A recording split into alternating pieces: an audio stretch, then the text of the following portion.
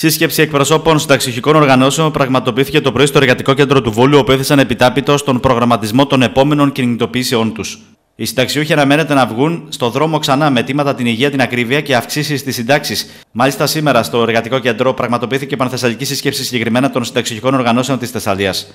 Για τις 8 Δεκεμβρίου στις 6 το απόγευμα στην Πλατεία Ελευθερίας πρόκειται να πραγματοποιηθεί συγκέντρωση συνταξιούχων συλλόγων εργαζομένων φορέων και υγειονομικών για την υγεία και την κατάσταση που επικρατεί στο νοσοκομείο του Βολού.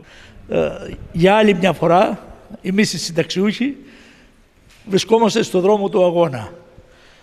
Βρισκόμαστε στο δρόμο του αγώνα γιατί η κυβέρνηση δεν αποφασίζει να ενισχύσει το εισόδημα των συνταξιούχων. Και όταν λέμε το εισόδημα, εννοούμε όχι μόνο τις συντάξεις, γιατί το εισόδημα χάνουμε και από τις αυξήσεις που υπάρχουν σήμερα στα είδη πρώτης ανάγκης κτλ. Εμείς πλέον σαν συνταξιωτικό κίνημα στη Μαγνησία θα οργανώσουμε στις 14 το Δεκέμβρη μεγάλη κινητοποίηση στο Βόλο. Θα καλέσουμε συμπαράσταση και από τα εργατικά σωματεία να, γιατί αφορά και αυτούς, γιατί αύριο αυτό που κάνουμε σήμερα είναι και για αύριο, για τα παιδιά μας, για τα εγγόνια μας. Γιατί έχουμε δεχθεί μια επίθεση χρόνια τώρα από τις κυβερνήσεις όλες. Η κυβέρνηση, δεν, μάλλον ο Πρωθυπουργός αρνήθηκε δύο φορές να δεχθεί τις αντιπροσωπείες των συνταξιούχων.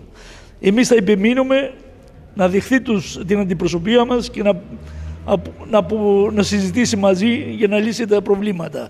Με διαφορετικές αντιλήψεις σαφώς. Συμφωνούν όμως ότι δεν μπορούν πλέον να σηκώσουν το βάρος αυτών των μέτρων και αποφάσισαν τη συνέχιση των κινητοποιήσεων. Αυτή τη φορά ορίζοντας ως ημέρα πανελλαδικής δράσης τη 14η Δεκέμβρη και θεωρήσαμε, και για να μην γίνονται και πολύ μεγάλες συγκεντρώσεις, με όλα τα μέτρα ασφαλείας να κάνουμε συγκεντρώσεις σε κάθε νομό. Γι' αυτό το σκοπό λοιπόν γίνονται αυτές οι περιφερειακές συσκέψεις σε κάθε περιοχή σήμερα στη Θεσσαλία όπου παραβρίσκονται τα πρωτοβάθμια σωματεία και του ΙΚΑ και του ΟΑΕ και του Δημοσίου, κυρίως αυτά τα σωματεία, γιατί είναι οι τρεις μεγάλες ομοσπονδίες, για να αποφασίσουμε πώς καλύτερα θα προετοιμάσουμε αυτές τις συγκεντρώσεις ή όποια άλλη μορφή αγώνα αποφασίσουμε.